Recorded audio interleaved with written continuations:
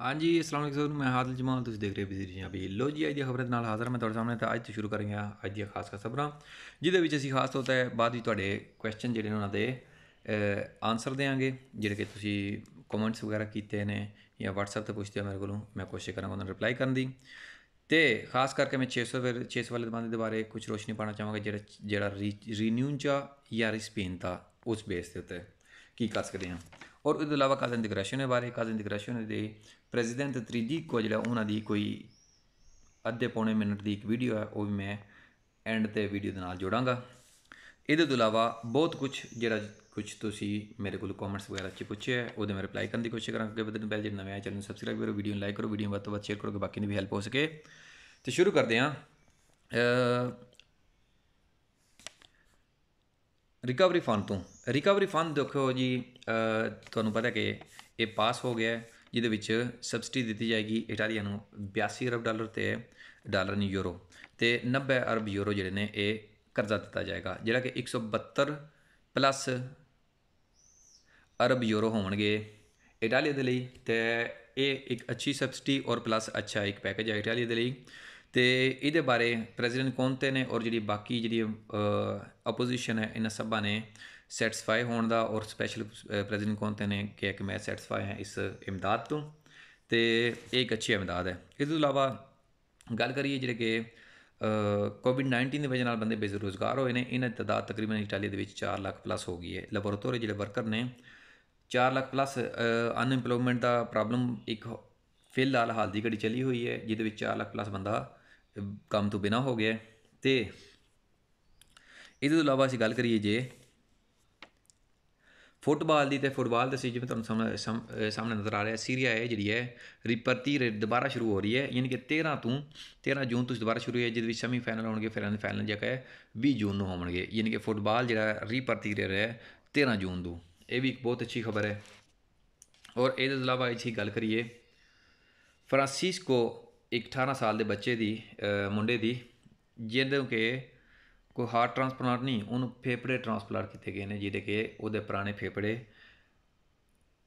Covid 19 ਦੀ ਵਜ੍ਹਾ ਨਾਲ ਖਰਾਬ ਹੋ ਗਏ ਸੀ, ਖਤਮ ਹੋ ਗਏ ਸੀ।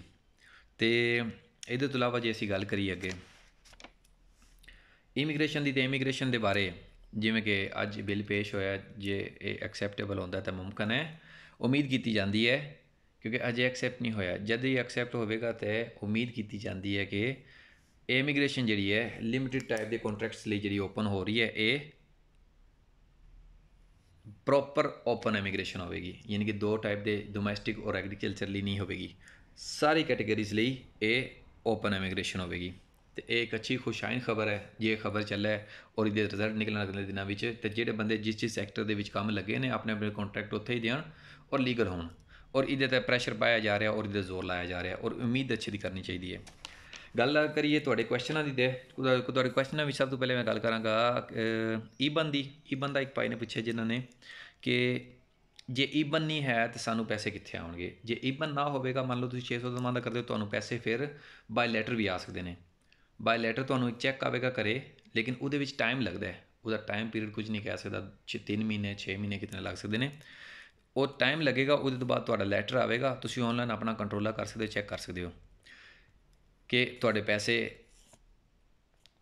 ਜਿਹੜੇ ਨੇ ਆਨਲਾਈਨ ਜੇ ਤੁਸੀਂ ਵੈਬਸਾਈਟ ਨਾਰਮਲੀ ਤੁਹਾਨੂੰ ਆਨਲਾਈਨ ਚੈੱਕ ਕਰਨ ਦਾ ਤਰੀਕਾ ਕਾਰ, ਮੈਂ ਸਾਰਾ ਦੱਸਿਆ ਹੋਇਆ ਹੈ ਤੇ ਆਨਲਾਈਨ ਵੈਬਸਾਈਟ ਤੇ ਜਾ ਕੇ ਤੁਸੀਂ ਆਪਣੇ ਪੈਸੇ ਦੇਖ ਸਕਦੇ ਹੋ ਕਿ ਤੁਹਾਨੂੰ ਪੈਸੇ ਕਦ ਪ੍ਰੈਜ਼ੈਂਟ ਹੋ ਜਾਣਗੇ ਔਰ ਮੁਮਕਨ ਹੈ ਉਹਦੇ ਤੋਂ ਕੁਝ ਇੰਡੀਕੇਸ਼ਨ ਦਿੱਤੀ ਜਾਏ ਕਿ ਕਦ ਉਹ ਪੈਸੇ ਤੁਹਾਡੇ ਹਾਲ ਬਾਈ ਲੈਟਰ ਲੈਟਰ ਦੇ ਵਿੱਚ ਇੱਕ ਚੈੱਕ ਹੋਵੇਗਾ ਕਦ ਭੇਜੇ ਜਾਣਗੇ।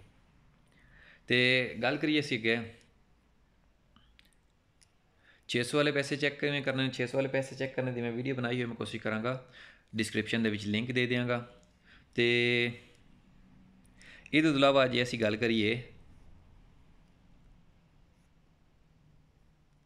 ਜੇ ਕੋਈ ਕੰਮ ਨਹੀਂ ਹੈ ਬੰਦੇ ਕੋਲ ਤਾਂ ਉਹ ਕਿਹੜਾ ਦਮਾਂਦਾ ਕਰ ਸਕਦਾ ਕੋਈ ਕੰਮ ਨਹੀਂ ਹੈ ਬੰਦੇ ਕੋਲ ਤੇ ਮੇਰੇ ਅਕੋਰਡਿੰਗ ਜਿਨੀ ਮੈਂ ਵੀਡੀਓ ਅਪਲੋਡ ਕਰਦਾ ਨਾਲ ਦੇ ਨਾਲ ਤੁਸੀਂ ਆਪੇ ਧਿਆਨ ਰੱਖਿਆ ਕਰੋ, ਕੋਸ਼ਿਸ਼ ਕਰਾ ਕਰੋ। ਮੇਰੇ ਖਿਆਲ ਵਿੱਚ ਰੈਮ ਵਾਲਾ ਦਮਾਂਦਾ ਤੇਰਾ ਤੁਹਾਡਾ ਕਰਨ ਵਾਲਾ ਹੋਵੇਗਾ ਕਿਉਂਕਿ ਤੁਸੀਂ ਪਹਿਲੇ ਵੀ ਕੰਮ ਨਹੀਂ ਕੀਤਾ, ਹੁਣ ਵੀ ਕੰਮ ਨਹੀਂ ਹੈ ਤੇ ਯਾਨੀ ਕਿ ਤੁਹਾਡਾ ਇੱਜ਼ਤ ਬਹੁਤ ਘੱਟ ਹੋਣੇ ਤੇ ਇੱਜ਼ਤ ਦੀ ਬੇਹਾਫ ਤੇ ਉੱਤੇ ਔਰ ਤੁਹਾਡੇ ਅਕਾਊਂਟ ਦੇ ਵਿੱਚ ਪੈਸੇ ਵੀ ਨਹੀਂ ਹੋਣੇ ਤੇ ਤੁਸੀਂ ਰੈਦੀ ਤੋਂ ਦੀ ਐਮਰਜੈਂਸੀ ਦਾ ਦਮਾਂਦਾ ਕਰ ਸਕਦੇ ਹੋ। ਇਹਦੇ ਤੋਂ ਇਲਾਵਾ ਗੱਲ ਕਰੀਏ ਅਸੀਂ ਜੇ ਕਿਸੇ ਭਾਈ ਨੇ ਪੁੱਛਿਆ ਸੀ ਕਿ ਜੇ ਐਕਸੈਪਟ ਨਹੀਂ ਹੋਇਆ 600 ਵਾਲਾ ਦਮਾਂਦਾ ਬੋਨਸ 600 ਯੂਰੋ ਵਾਲਾ। ਬੋਨਸ 600 ਯੂਰੋ ਵਾਲਾ ਦਮਾਂਦਾ ਐਕਸੈਪਟ ਨਹੀਂ ਹੋਇਆ, ਤੇ ਤੁਸੀਂ ਉਹਨੂੰ ਜੇ ਰਿਸਪੀਨਤਾ ਲਿਖਿਆ ਹੈ, ਤਾਂ ਫਿਰ ਤੁਸੀਂ ਵੇਟ ਕਰੋ, ਕਿਉਂਕਿ ਉਹ ਰੀਵੈਲੂਏਸ਼ਨ ਵਿੱਚ ਆਏਗਾ, ਯਾਨੀ ਕਿ ਦੁਬਾਰਾ ਆਬਜ਼ਰਵ ਕਰਨਗੇ ਤੁਹਾਡੇ ਦਮਾਂਦੇ ਨੂੰ। ਜੇ ਤੁਸੀਂ ਉਹਨੂੰ ਰੀਨਿਊ 'ਚ ਕਲਿੱਕ ਕਰ ਦਿੱਤਾ ਹੈ ਰੀਨਿਊ 'ਚ ਜੇ ਕਲਿੱਕ ਕਰ ਦਿੱਤਾ ਤੁਸੀਂ, ਤਾਂ ਫਿਰ 3 ਜੂਨ ਤੋਂ ਪਹਿਲੇ ਪਹਿਲੇ ਰੀਪ੍ਰੈਜ਼ੈਂਟ ਕਰੋ, ਕਿਉਂਕਿ ਦਾਤਾ ਇਸ ਕਦੈਂਸ ਆ ਗਈ ਇਹਦੀ ਦਮਾਂਦੇ ਦੀ 3 ਜੂਨ। ਤੇ ਜੇ ਰਿਸਪੀਨ ਤਾਂ ਲਿਖਿਆ ਹੈ, ਤੇ ਰਿਸਪੀਨ ਤੇ ਤੋਂ ਮੁਰਾਦ ਯਾਨੀ ਕਿ ਇਹ ਦੁਬਾਰਾ ਰੀਵੋਲੂਟੇਸ਼ਨ ਹੈ ਵੀ ਦੁਬਾਰਾ, ਯਾਨੀ ਕਿ ਦੁਬਾਰਾ ਆਬਜ਼ਰਵ ਕਰਨਗੇ ਤੁਹਾਡੇ ਦਮਾਂਦੇ ਨੂੰ, ਠੀਕ ਹੈ? ਕਿ ਤੁਹਾਡਾ ਅੱਕ ਬਣਦਾ ਤੁਸੀਂ ਅੱਕ ਰੱਖਦੇ ਹੋ ਕਿ ਨਹੀਂ? ਜੇ ਤੁਸੀਂ ਰੀਨਿਊ ਚ ਨੂੰ ਕਲਿੱਕ ਕਰ ਦਿੱਤਾ ਹੈ, ਤੇ ਫਿਰ ਤੁਹਾਡਾ ਦਮਾਂਦਾ ਤੁਸੀਂ ਆਪਣੇ ਹੱਥੀਂ ਕੈਂਸਲ ਕਰ ਬੈਠੇ ਹੋ। ਤੇ ਫਿਰ ਤੁਸੀਂ 600 ਵਾਲਾ ਦਮਾਂਦਾ ਜਿਹੜਾ ਹੈ, ਉਹ ਦੁਬਾਰਾ ਰੀਪ੍ਰੈਜ਼ੈਂਟ ਕਰੋ 3 ਜੂਨ ਤੋਂ ਪਹਿਲੇ। 3 ਜੂਨ ਤੋਂ ਬਾਅਦ ਇਹਦਾ ਟਾਈਮ ਖਤਮ ਹੋ ਜਾਣਾ ਹੈ। ਤੇ ਗੱਲ ਕਰਾਂਗੇ ਐਂਡ ਤੇ ਕਾਜ਼ਨ ਇੰਟੀਗ੍ਰੇਸ਼ਨ ਹੈ। ਕਾਜ਼ਨ ਇੰਟੀਗ੍ਰੇਸ਼ਨ ਹੈ ਜਿਹੜਾ ਜੇ ਕਿਸੇ ਦਾ ਲੌਗਇਨ ਨਹੀਂ ਹੋ ਰਿਹਾ, ਤਾਂ ਉਹ ਉਹ ਆਪਣੀ ਆਈਡੀ ਸਪੀਡ ਦੀ ਚੈੱਕ ਕਰੇ ਕਿ ਤੁਹਾਡੇ ਕੋਲ ਆਈਡੀ ਸਪੀਡ ਦੀ ਲੈਵਲ ਦੂਏ ਦੀ ਹੋਣੀ ਚਾਹੀਦੀ ਹੈ। ਲੈਵਲ ਉਨੋ ਦੀ ਆਈਡੀ ਜਿਹੜੀ ਹੈ ਸਪੀਡ ਦੀ, ਉਹ ਸਾਰਿਆਂ ਪੱਲੇ ਲੌਗਇਨ ਨਹੀਂ ਹੋਵੇਗੀ। ਔਰ ਕਾਜ਼ਨ ਔਰ ਪਲੱਸ ਇੰਪਸ ਦੀ ਆਫੀਸ਼ੀਅਲ ਵੈਬਸਾਈਟ ਤੇ ਤੁਸੀਂ ਇੰਟਰ ਹੋ ਕੇ ਕੁਝ ਕੰਮ ਕਰਨਾ ਹੈ, ਤਾਂ ਤੁਸੀਂ ਆਪਣੀ ਆਈਡੀ ਪਹਿਲੇ ਚੈੱਕ ਕਰੋ ਲੈਵਲ ਦੂਏ ਦੀ ਹੋਣੀ ਚਾਹੀਦੀ ਹੈ। ਕਾਜ਼ਨ ਇੰਟੀਗ੍ਰੇਸ਼ਨ ਵਿੱਚ ਤੁਸੀਂ ਇੰਟਰ ਹੋਣਾ ਹੈ, ਤੇ ਉਹਦੇ ਪੈਸੇ ਵਗੈਰਾ ਚੈੱਕ ਕਰਨਾ ਲੈਵਲ ਦੂਏ ਦੀ ਆਈਡੀ ਇੰਪਸ ਹੋਣੀ ਚਾਹੀਦੀ ਹੈ। ਤੇ ਜੇ ਕਿਸੇ ਦਾ ਦਾਤੀ ਨੋਨ ਪ੍ਰੈਜ਼ੈਂਟ ਦੀ ਲਿਖਿਆ ਆ ਰਿਹਾ ਹੈ, ਜੇ ਡਿਟੇਲ ਪ੍ਰੈਜ਼ੈਂਟ ਨਹੀਂ ਹੈ ਕਾਜ਼ ਇੰਟੀਗ੍ਰੇਸ਼ਨ ਦੀ ਮੁਮਕਨ ਹੈ ਟੈਕਨੀਕਲ ਡਿਫੈਕਟ ਹੋਵੇ, ਤੁਸੀਂ ਦੁਬਾਰਾ ਰੀਫਰੈਸ਼ ਕਰੋ, ਦੁਬਾਰਾ ਲੌਗ ਆਊਟ ਕਰੋ ਲੌਗ ਇਨ ਕਰਕੇ ਦੁਬਾਰਾ ਚੈੱਕ ਕਰੋ ਕਿ ਮੁਮਕਨ ਹੈ, ਬਾਅਦ ਵਿੱਚ ਰੀਪ੍ਰੈਜ਼ੈਂਟ ਬਾਅਦ ਵਿੱਚ ਪ੍ਰੈਜ਼ੈਂਟ ਹੋਵੇ ਕੋਈ ਇਨਫੋਰਮੇਸ਼ਨ ਤੁਹਾਡੇ ਕਾਜ਼ ਇੰਟੀਗ੍ਰੇਸ਼ਨ ਦੇ ਪੈਸੇ ਮੁਤਲਕ। ਤੇ ਅੱਜ ਇੱਕ ਇੰਟਰਵਿਊ ਦੇ ਵਿੱਚ ਜਿਹਦਾ ਮੈਂ ਇੱਕ ਛੋਟਾ ਜਿਹਾ ਕਲਿੱਪ ਜਿਹੜਾ ਹੈ ਵੀਡੀਓ ਦੇ ਐਂਡ ਤੇ ਤੁਹਾਡੇ ਨਾਲ ਸ਼ੇਅਰ ਕਰਾਂਗਾ। ਜਿਹੜਾ ਇੰਪਸ ਦੇ ਇੰਪਸ ਦੇ ਕਾਪੋ ਨੇ ਮਿਨਿਸਟਰ ਉਹਨਾਂ ਨੂੰ ਪੁੱਛਿਆ ਗਿਆ ਹੈ ਕਿ ਕਈ ਅਸੋਵਾਂ ਕਈ ਹਜ਼ਾਰਾਂ ਜਿਹੜੇ ਦਮਾਂਦੇ ਨੇ, ਜਿਹੜੇ ਕਾਜ਼ਾ ਇੰਟੀਗ੍ਰੇਸ਼ਨ ਦੇ ਗਰੀਬ ਬੰਦਿਆਂ ਦੇ ਲੇਟ ਹੋ ਰਹੇ ਨੇ। ਤੇ ਇਹਦੀ ਕੀ ਵਜ੍ਹਾ ਹੈ? ਉਹਨਾਂ ਨੇ ਕਿਹਾ ਕਿ ਇਹ 70 ਦੀ ਦਿਹਾਈ ਤੋਂ ਹੀ ਜਿਹੜਾ ਕਾਜ਼ਾ ਇੰਟੀਗ੍ਰੇਸ਼ਨ ਦਾ ਨਿਜ਼ਾਮ ਹੈ, ਇਸੇ ਤਰ੍ਹਾਂ ਚੱਲਦਾ ਆ ਰਿਹਾ ਹੈ।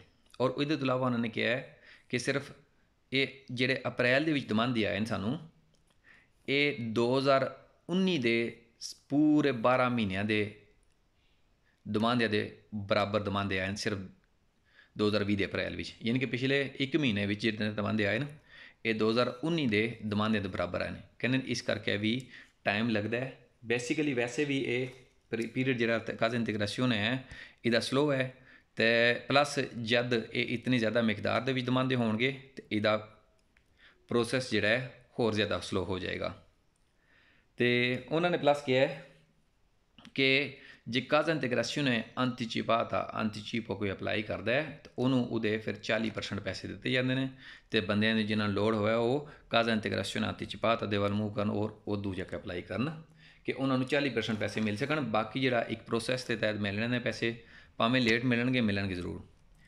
ਤੇ ਰੈਮ ਦੇ ਦਮਾਂਦੇ ਜਿਹੜੇ ਨੇ ਰੈਦੀ ਤੋਂ ਦੀ ਐਮਰਜੈਂਸੀ ਦੇ ਦਮਾਂਦੇ, ਹਾਲ ਦੀ ਘੜੀ ਤੱਕ ਤਕਰੀਬਨ 1 ਲੱਖ ਤੋਂ ਪਲੱਸ ਦਮਾਂਦੇ ਹੋ ਚੁੱਕੇ ਨੇ।